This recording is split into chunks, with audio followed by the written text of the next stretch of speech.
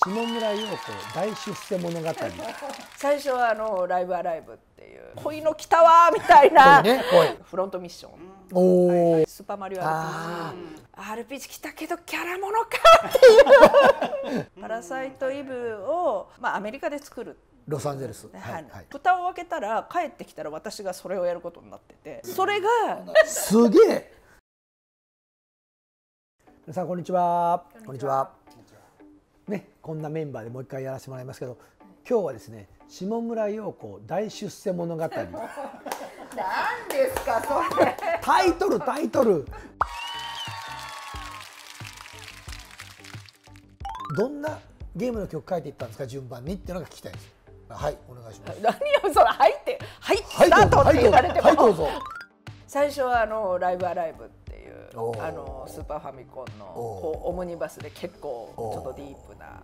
まあ、これがすごかったんですけど私スト2をあれだけのステージの曲をある程度やってたので、まあ、一人でそのいろんな世界観を多分かけるっていうところにやっぱり注目してもらったっていうのはあるのかなって思うんです。私の中ではもうドラクエみたいなこう王道 RPG と思ってたらうわいきなり最初から恋の来たわみたいな、次こそ王お道どいと行こうと。行こうと思ったら、次は、えー私の作曲家の子と2人で半々でやったんですけどフロントミッション、おおこれもディープな話で。大好きだったけど。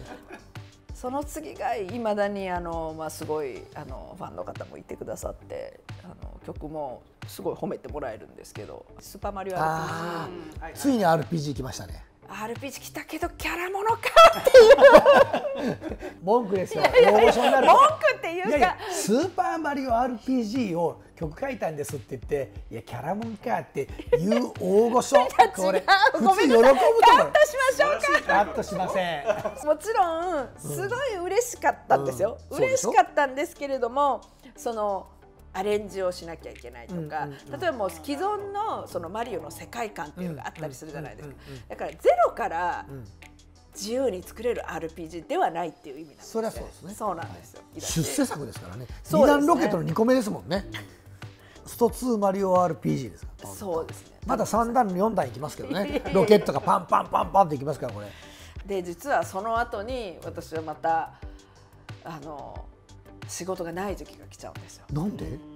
割と順風満帆ちゃうね。ちゃうちゃうんですよ。結構逆風にそうなんですよ。さらされてるやないか。そそれでそこで私の負けず嫌いが発揮するんですよ。おええ話になってきたぞこれ。来た来た。いや私が話してばっかりじゃないですか。いやいやいやあんたメインですよ今日。今日あんたあんたの話聞いてるみんな。いやいやそんな話が面白いのかな。い大丈夫ですよ。や皆さまあ、んねあの逆風も吹きますから人生には。見てほしいよ本当にまあ、で負けん気が出て。で、まあどうしようかなって思ってた時に、パラサイトイブをまああのまあアメリカで作る。ロサンゼルス。ははいはい。話が出て、うんうん。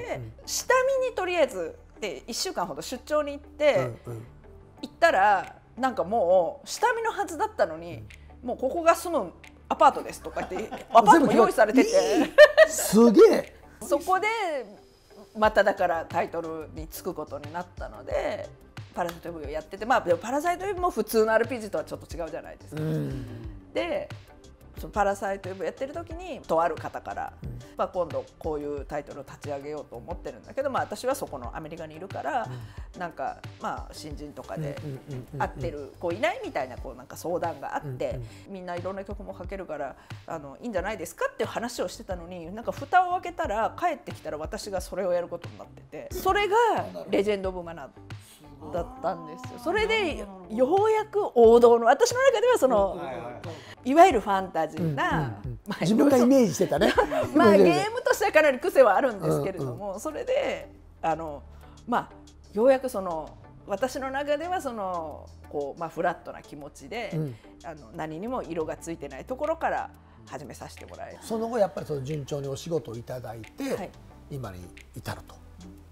すごいですよ、まあ順調に僕ねっていうか、まあ、偉偉そうにこう上から言いますけど本当褒めてあげたい褒めてください。褒めてあげてああんまり誰も褒めてくれないの。すごい頑張ったと思うもん だっいてや嘘すごい褒められてる。支社を辞めて あのちゃんとそうやってね飯を食えてる人ってそんなにたくさんはいないのよちゃんとこうなんだろう名前があってゲーム業界の中にあって巨匠だと僕は思ってるんで、そのポジションを取れた人は本当たくさんはいないから、本当褒めてあげたい。ありがとうございます。その一人があなたになるとも思ってなかったけどね。そうですよね。私も思ってないです。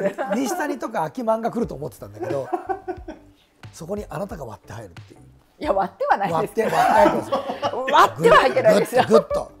さすがいやいやいや私はでも本当に恵まれてると思ってて、うん、やっぱり音楽っていう仕事自体もすごく不安定な仕事じゃないですか、うん、まあ、一般的に言われるのが、だからまあ音楽で生きていきたいっていうと、まあ、まず音楽なんかで飯食えると思うなって大体親に反対されるっていう職種の一つじゃないですか。でも、まあ、それを、まあ、両親がさせてくれて、まあね、C 社に拾ってもらって次また拾ってもらってでフリーランスでもお仕事がもらえてってでこう、ね、今でもやっぱりこう仕事が続けられるってもうその音楽をさせてもらえるっていうことだけど、うん、こんこれ以上の幸せはないっていうぐらい。素晴らしいコメントです。いやいやいや思うのでもう本当にだからあの地道に頑張っていくしかないなとそのさせてもらってることに対する感謝を返す。すごい。なんか嫌だちょっといやいやすごいいい話になりましたね 今日。でもでもそうですよ。だってあの天狗だってるわけじゃなくてまあ西谷社長も僕も同じようなもんですけどそのやっぱり仕事もらってありがたいやしそれをあのこの業界に返したいと思ってるしみんな。でその思いがその若手にね若手これからゲーム業界を目指す人たちに伝わってほしいし今落ちこぼれてると思ってる人たちも全然チャンスあるし。だって俺ら別にエリートじゃないもんね。もう泣いてましたからね私。ね。えだって高卒短大卒専門卒ですよこれこれこれこれこの3人、はい、別になんかすごい超エリートで来ましたってことないじゃないですか、はい、で結局あのお泊まりしてましたお泊まりしてましたお泊まりしてました。みんな。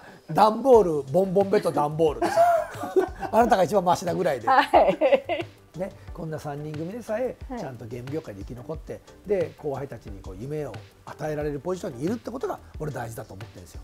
今日はですね下村陽子、えー、大出世物語でした。